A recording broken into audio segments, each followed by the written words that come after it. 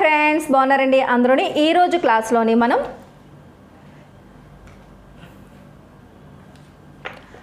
Hi friends బాగున్నారండి అందరూని. ఈరోజు క్లాస్లోని మనం రావియాకు మోడల్ బ్లౌజ్ కటింగ్ ఎలా అన్నది చూద్దామండి.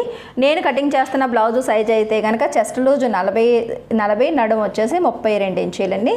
అలాగే పొడవు పద్నాలుగు ఇంచీలు బ్యాక్ నెక్ వచ్చేసి పది ఇంచీలు. సరేనండి. ఇప్పుడు ఈ బ్లౌజ్ ఫ్రంట్ నెక్ ఏమో ఏడించేలు. ఇప్పుడు ఈ కొలతలతోని మనం బ్లౌజ్ అన్నది చూద్దాము. ఏ సైజు వాళ్ళకైనా సరే మీ బ్లౌజ్ నుంచి పొడవు తీసుకోవాలి చెస్ట్ లూజ్ తీసుకోవాలి నడుమి ఎంత అన్నది తీసుకోండి. సరేనా? ఇప్పుడు పొడవు దగ్గరికి వచ్చేటప్పటికి పద్నాలుగు ఇంచులకి ఒక ఇంచు కలుపుకొని పదిహేను ఇంచుల దగ్గరికి మనం పొడవు మార్కింగ్ ఖర్చులతో పాటుగా పెట్టుకోవాలి. ఇక్కడ నేను ఒక మీటర్ క్లాత్ తీసుకున్నానండి. కోరంచులు రెండు ఒకవైపు వచ్చేటట్టుగా ఫోల్డ్ చేసాం ఫోల్డింగ్ మన వైపు. సరేనా? ఇప్పుడు పదిహేను ఇంచీలు పైనుంచి కిందకి పదిహేను ఇంచుల దగ్గరికి ఒక మార్కింగ్ చేయండి. దాని తర్వాత ఇక్కడి నుంచి ఇలాగ పదిహేను ఇంచుల దగ్గరికి ఇంకొక మార్కింగ్ అన్నది చేయండి.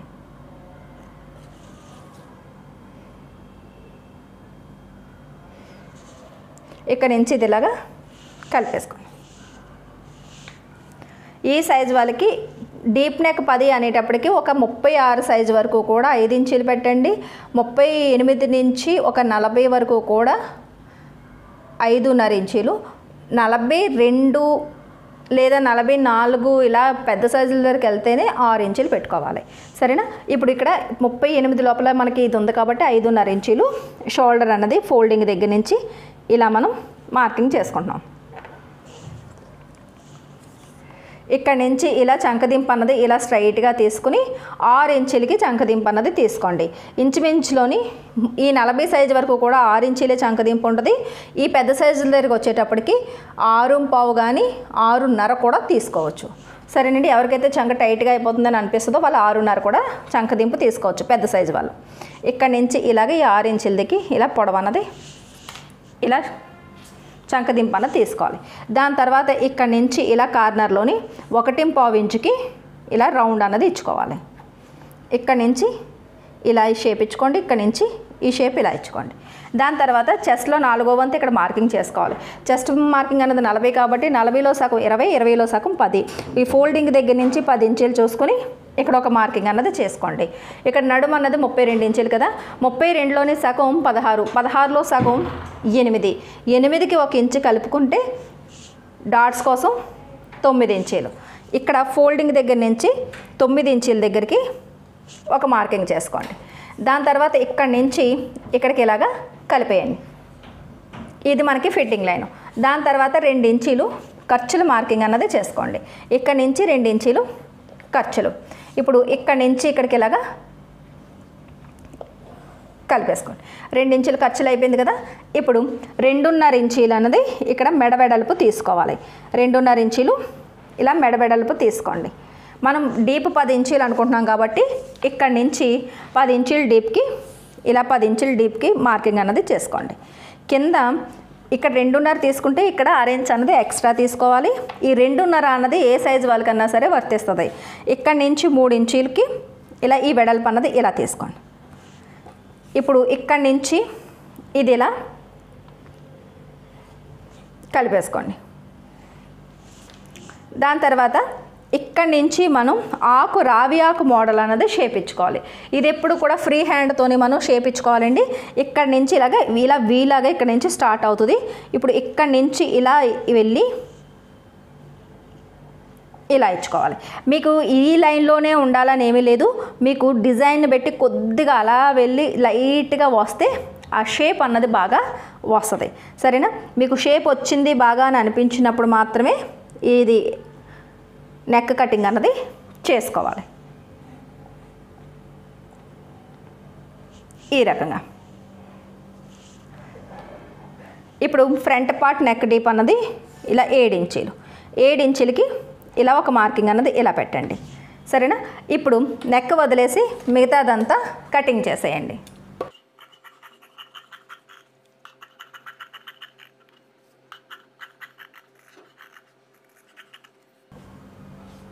ఇప్పుడు మిగిలిన క్లాత్ ఉంది కదా ఈ మిగిలిన క్లాత్ దగ్గర ఈ బ్యాక్ పార్ట్ని ఇలా క్రాస్గా ఇలా పెట్టండి. మనం నెక్ డీప్ పెట్టుకుంది కింద క్లాత్ ఉందా లేదా చూసుకుంటూ ఈ షోల్డర్ దగ్గర ఉన్నది కూడా ఈ రెండు పొరలు ఉన్నాయా లేవా చూసుకుంటూ ఇక్కడ కూడా క్లాత్ సరిపోతుందా లేదా చూసుకుంటూ ఇలా అడ్జస్ట్మెంట్ సాధ్యమైనంత వరకు పైకి పెడితే మీకు క్లాత్ అన్నది సేవ్ అవుతుంది క్రాస్ అన్నది వస్తుంది. ఇప్పుడు ఈ నెక్ డీప్ ఉంది చూసారా? ఫ్రంట్ పార్ట్ ఇది కిందకి ఇలా మార్కింగ్ వచ్చేటట్టుగా కిందకి మార్కింగ్ చేయండి కింద క్లాత్ మీదకి. దాని తర్వాత ఇక్కడ ఫోల్డింగ్ దగ్గర నుంచి ఇలా స్ట్రైట్గా ఫోల్డింగ్ దగ్గర నుంచి లైన్ గీసేయండి. దాని తర్వాత కింద లైన్ ఉంది చూసారా? ఈ కింద లైన్ నుంచి ఇలా మార్కింగ్ చేసేయండి. ఆ తర్వాత ఇక్కడ చెస్ట్ దగ్గర నుంచి మనకి ఈ ఖర్చులతో పాటుగా అంచు ఉంది కదా ఈ అంచుకి ఇలా ఒక చిన్న మార్కింగ్ చేసి ఈ మొత్తం ఆమ్ రౌండ్ ఎలా అయితే మీరు కటింగ్ చేశారో సేమ్ అదే రౌండ్ని దగ్గరికి ఇలాగా మార్కింగ్ చేసేయండి. సరేనా? ఇలా దగ్గరికి ఇలా మార్కింగ్ చేసిన తర్వాత షోల్డర్ అంచులు ఉన్నాయి కదా ఈ షోల్డర్ అంచులకి ఇలా లైన్ మార్కింగ్ చేయండి. తర్వాత ఈ మెడబెడల్పు ఉంది కదా ఈ మెడబెడల్పు లైన్కి ఇలా పైకి పొడిగేస్తే కింద క్లాత్ మీద మీకు మార్కింగ్ పడుద్ది. అలాగే ఈ రెండించుల ఖర్చుల మార్కింగ్ కూడా పెట్టండి. ఈ కార్నర్ దగ్గర ఇలా వేలతో ఇలా నొక్కి పెట్టి ఒక వెన్తోని ఇలా ఈ డాట్ ఈ కార్నర్ డాట్ని ఇలా మార్కింగ్ చేసుకోండి. దాని తర్వాత బ్యాక్ పార్ట్ని తీసేయండి. బ్యాక్ పార్ట్ తీసేసుకుని ఇక్కడ నుంచి చూసారు కదా కరెక్ట్గా ఆరు ఇంచుల దగ్గరికి మనకి డాట్ వచ్చింది కదా దీన్ని ఇలా కలిపేసుకోండి. ఆ తర్వాత ఈ లైన్ నుంచి ఇక్కడికి ఇది ఇలా కలిపేసుకోండి. దాని తర్వాత ఇక్కడ నుంచి ఇది ఇలా ఇలా కలుపుకోండి. ఇక్కడ నుంచి ఒక హాఫ్ ఇంచ్ అన్నది ఏదో ఒక నెంబర్ నుంచి అర ఇంచ్ అన్నది ఇలా కిందకి మార్కింగ్ చేసుకోండి. చేసుకుని ఇక్కడ నుంచి ఇలా మనం షేప్ అన్నది ఇచ్చేసుకోవాలి. ఇలా షేప్ ఇచ్చుకుంటే అర ఇంచ్ మనకి లోత్ అన్నది ఆటోమేటిక్గా వస్తుంది. సరేనా? దాని తర్వాత ఇక్కడ చూడండి ఇక్కడ మెడ డీప్ ఉంది చూసారా? ఈ మెడ డీప్ మార్కింగ్ ఉంది కదా? ఈ మార్కింగ్ దగ్గర నుంచి లోపల వైపుకి మూడు ఇంచీల దగ్గరికి ఒక మార్కింగ్ చేసుకోండి. చేసుకుని ఇలా లైన్ ఇక్కడికి ఇలా కలిపేయండి. దాని తర్వాత మెడవెడలు పొంద చూసారా? మెడవెడల్పు దగ్గర నుంచి ఇక్కడికి ఇలాగ లైన్ కలిపేస్తే మీకు ఇది షేప్ ఇలా వస్తుంది. ఇక్కడ కూడా మీరు రావి ఆకు మోడల్ కావాలంటే రావి ఆకు లేదనుకుంటే రౌండ్ ఇచ్చుకోవాలంటే రౌ- రౌండ్. ఇది మీరు మన మోడల్ నేర్చుకుంటున్నాం కాబట్టి ఇక్కడ నుంచి ఇలా రావి ఆకు మోడల్లోని ఇలా షేప్ అన్నది ఇచ్చుకోవాలి. సరేనా? చిన్న చిన్న డాట్స్ ఫస్ట్ పెట్టుకోవాలి. ఇలా. ఇలా వచ్చి కొద్దిగా ఈ లైన్ కన్నా పైన కొద్ది జస్ట్ ఒక రవ్వంత అంతే ఒక పావు ఇంచులు కాదండి. జస్ట్ షేప్ కోసమని ఈ షేప్ ఇచ్చుకుంటాం. ఈ రావియాకు మోడల్కి ఇలా ఈ మాత్రం ఇలా షేప్ ఇస్తే మీకు ఆటోమేటిక్గా షేప్ అన్నది వచ్చేస్తుంది.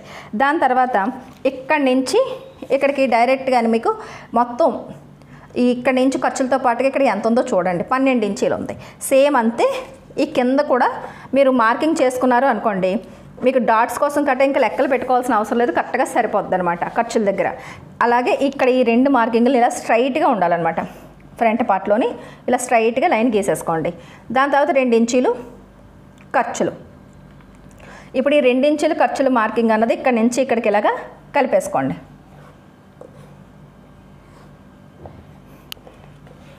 కింద నుంచి రెండించీలకి ఒక మార్కింగ్ చేయండి.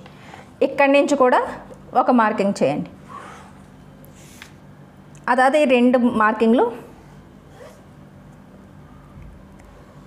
ఇలా కలుపుకోండి. దాని తర్వాత కింద నుంచి పైకి ఒక ఇంచ్కి షేప్ ఇచ్చుకోండి. దాని తర్వాత ఇక్కడి నుంచి మూడు ఇంచుల దగ్గర చేసి కరెక్ట్గా అరేంజ్ అన్నది ఏదో ఒక నెంబర్ నుంచి అరేంజ్ అన్నది ఇలా చూసుకుని డౌన్ చేసుకోండి. ఇప్పుడు ఇక్కడి నుంచి ఇది ఇలా కలుపుకోండి.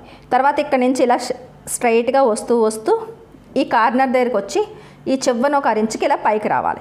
ఇలా వస్తే మీకు ఫ్రంట్ వైపు షేప్ అన్నది మీకు నీట్గా వస్తుంది. ఇప్పుడు కటింగ్ చేసేసుకోండి.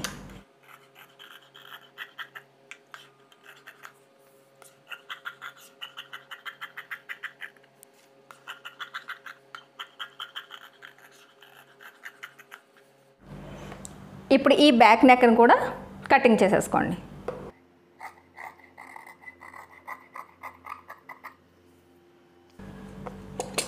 ఇది బ్యాక్ పార్ట్ మీద ఇలా ఫ్రంట్ పార్ట్ని ఇలా పెట్టండి. ఇలా పెట్టిన తర్వాత ఇప్పుడు మనకి షేప్ బెల్ట్ కోసం అని చెప్పేసి మార్కింగ్ తీసుకోవాలి. ఫ్రంట్ వైపు కింద లైన్ నుంచి పైకి ఒక అరించ్కి ఒక మార్కింగ్ చేయండి. అలాగే ఇక్కడ నుంచి కూడా ఒక అరించ్కి ఒక మార్కింగ్ అన్నది ఇలా చేయండి. దాని తర్వాత ఇక్కడ నుంచి కిందకి ఎంత ఉందన్నది చూసుకుంటే నాకు మూడున్నర ఇంచీలు వచ్చింది. మీకు ఎంత వస్తే అంతే నోట్ చేసుకోండి. సరేనా? ఇక్కడ నుంచి ఇక్కడికి చూసుకుంటే నాకు పావు తక్కువ మూడు వచ్చింది అంటే టూ పాయింట్ సెవెన్ అనమాట. అలాగే బ్యాక్ సైడ్ మొత్తం నడుమంతా చూసుకుంటే పదకొండు ఇంచీలు ఉంది ఈ మూడు ఈ మూడు కొలతలతోని మనం ఇప్పుడు షేప్ బెల్ట్ని కటింగ్ చేసుకోవాలి. మనం సైడ్ని కటింగ్ చేయగా మనకి బ్యాక్ పార్ట్ కటింగ్ చేయగా సైడ్ని ఇలా మనకి క్లాత్ మిగులుతుంది. దీన్ని ఇలా కోరంచులు మన వైపుకి వచ్చేటట్టు పెట్టుకుని ఈ పదకొండు ఇంచీలు అన్నది మన నుంచి ముందు భాగంకి ఇలా చూసుకోండి. కరెక్ట్గా నాకు సరిపోయింది. ఇక్కడ ఒక లైన్ అన్నది ఇలా చేస్తాను లైన్ చేయకపోయినా పర్వాలేదు ఎండింగ్ కాబట్టి. క్లాత్ మిగిలితే మీరు ఇక్కడ మార్కింగ్ చేసుకోండి. ఈ మూడున్నర ఇంచీలు కాబట్టి కింద నుంచి పైకి మూడున్నర ఇంచుల దగ్గరికి ఒక మార్కింగ్ చేస్తున్నాను. ఇది హుక్కుల వైపుది. ఫిట్టింగ్ వైపు పావు తక్కువ మూడు వచ్చింది కాబట్టి ఇక్కడ పావు తక్కువ మూడు ఇంచులు ఇక్కడ ఒక మార్కింగ్ చేయండి. ఇలా ఇక్కడ నుంచి ఒక మూడున్నర ఇంచుల దగ్గర ఏ షే ఏ బ్లౌజ్ కన్నా సరే ఓ- మూడున్నర ఇంచుల దగ్గర ఒక మార్కింగ్ చేసి హుక్కుల దగ్గర ఎంత అయితే పెట్టారో దానికి ఒక ఇంచు తగ్గించుకోవాలి. అక్కడ మూడున్నర కాబట్టి ఇక్కడ రెండున్నరకి మార్కింగ్ చేసుకోండి. ఇప్పుడు ఇక్కడ నుంచి ఇది ఇలా షేప్ తీసుకోండి.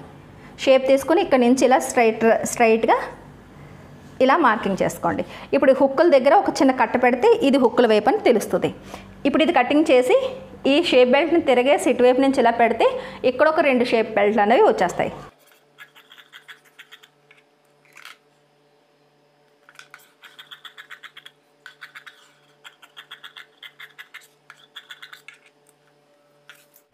ఇప్పుడు ఫ్రంట్ పార్ట్ మనకి కటింగ్ అయిపోయింది. ఇప్పుడు బ్యాక్ పార్ట్ తీసుకోండి. బ్యాక్ పార్ట్ తీసుకొని హ్యాండ్స్కి ఆమ్ రౌండ్ని కొలుచుకోవాలి. ఇక్కడ నుంచి ఇది ఇలాగా ఆమ్ రౌండ్ని ఇక్కడ నుంచి ఇలా ఆమ్ రౌండ్ని కొలుచుకోండి. ఇలా ఆమ్ రౌండ్ని కొలుచుకుంటే ఎంత అయితే వస్తుందో ఇలా చూసారు కదా నాకు పదకొండున్నర ఇంచీలు వచ్చింది. ఎంత అయితే వస్తుందో దానికి ఒక ఇంచ్ అన్నది తగ్గించేసుకోండి. అంటే పదిన్నర ఇంచీలు.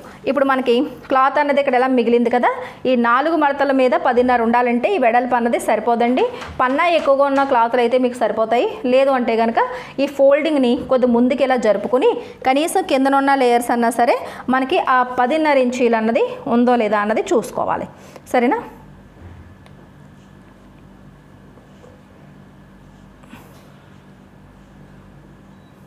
ఈ రకంగా. ఇక్కడ మనకి జాయింట్స్ అన్నవి ఇలా వస్తాయి. ఇప్పుడు ఇక్కడ నుంచి ప్లెయిన్ బ్లౌజ్ కాబట్టి ఒకటి పావు ఇంచుకి ఇక్కడ నేను మార్కింగ్ చేస్తున్నాను ఫోల్డింగ్ కోసం హెమ్మింగ్ బెల్ట్ కోసం. సరేనా? ఇక్కడ నుంచి ఇది ఇలాగా కలిపేసుకోండి. దాని తర్వాత ఇక్కడ నాకు హ్యాండ్కి అయితే కనుక ఇలా ఇంతవరకు ఇలా ఎంతైతే మిగిలిందో నేను అంత హ్యాండ్ ఎప్పుడు పెట్టేస్తానండి? ఎనిమిది ఇంచీలు. మీకు ఐదు ఇంచీలైనా ఆరు ఇంచీలైనా ఏడు ఇంచీలైనా తొమ్మిది ఇంచీలు ఎంతైనా సరే మీకు మీకు కావ మీకు ఎంతైతే పొడవు మీ హ్యాండ్ అయితే దానికి అరెంజ్ అన్నది ఖర్చులకి తీసుకోవాలి. ఎందుకంటే హెమ్మింగ్ బెల్ట్కి ఇక్కడ ఖర్చులు ఆల్రెడీ ఉన్నాయి కాబట్టి అవసరం లేదు. అంటే ఇక్కడ నేను ఎనిమిది ఇంచుల క్లాత్ ఉంది కాబట్టి ఇక్కడ నుంచి పెట్టేస్తున్నాను. అంటే స్టిచ్చింగ్ అయిన తర్వాత ఇది ఏడున్నర ఇంచుల పొడవుకి మనకి అవుతుంది తయారవుతుంది. సరేనా? ఇక్కడ నుంచి ఇలాగ మనం మార్కింగ్ పెట్టేసి ఎనిమిది ఇంచులకి నేను ఇలా కలిపేస్తున్నాను. ఇంకా మీకు ఇది తొమ్మిది ఇంచులు కూడా మీరు మార్కింగ్ చేసుకోవచ్చు. ఎందుకంటే మనకి డౌన్ అన్నది కట్ అనేది ఇక్కడ ఉంది.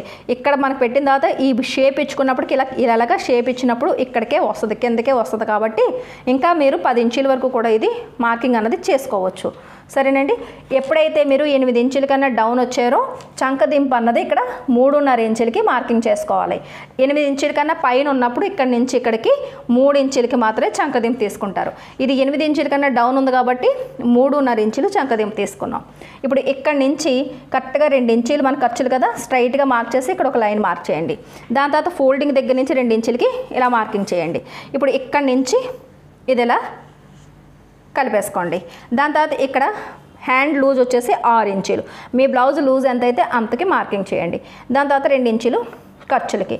ఇప్పుడు ఇక్కడి నుంచి ఇక్కడికి ఇలాగా కలుపుకోండి. అలాగే రెండు ఇంచులు ఖర్చులు కూడా ఇలా కలుపుకోండి. ఇప్పుడు హ్యాండ్ కటింగ్ అన్నది చేసేద్దాం.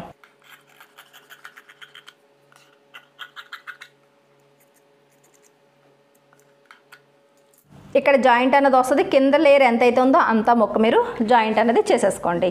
సరేనా? ఈ రకంగా మనకి ఆకు మోడల్ అనేటప్పటికి చక్కగా ఈ షేప్ అన్నది వస్తుంది.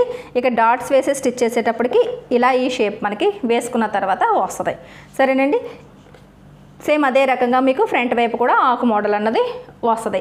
నార్మల్ హెమ్మింగ్ బెల్ట్ ఎలా అయితే వేసుకుంటామో వేసుకుని ఇక్కడ కార్నర్ దగ్గర కొద్దిగా కట్స్ పెట్టుకుంటే సరిపోద్ది. లేదు స్టిచ్చింగ్ రాదు అని అనుకున్న వారికి నేను స్టిచ్చింగ్ చేసి చూపిస్తాను తర్వాత. సరేనండి? మీరు ఏమైనా వీడియో చూసిన తర్వాత స్టిచ్చింగ్ కూడా కావాలనుకుంటే కనుక కామెంట్స్లోనే స్టిచ్చింగ్ వీడియో కావాలని చెప్పేసి పెట్టండి. నేను మీకు స్టిచ్చింగ్ చేసి చూపిస్తాను. లేదు అనుకుంటే మీ బ్లౌజ్కి ఎలా అయితే డాట్స్ పెట్టుకుంటున్నారో సేమ్ అదే రకంగా డాట్స్ పెట్టేసుకుని ఈ బ్లౌజ్ని స్టిచ్చింగ్ అన్నది చేసేసుకోవడమే. కటింగ్ వస్తే చాలు స్టిచ్చింగ్ చేసుకోవచ్చు అని అనుకున్న వారికి స్టిచ్చింగ్ చేయండి. లేదంటే నెక్స్ట్ క్లాస్లో నేను స్టిచ్చింగ్ మీకు నేను షేర్ చేస్తాను. వీడియో నచ్చినట్లయితే కనుక ఒక లైక్ ఇవ్వండి. మన లక్ష్మీ ఫ్యాషన్ వాళ్ళ ఛానల్ని సబ్స్క్రైబ్ చేసుకోవడం మర్చిపోకండి. మళ్ళీ నెక్స్ట్ క్లాస్లో కలుద్దాం.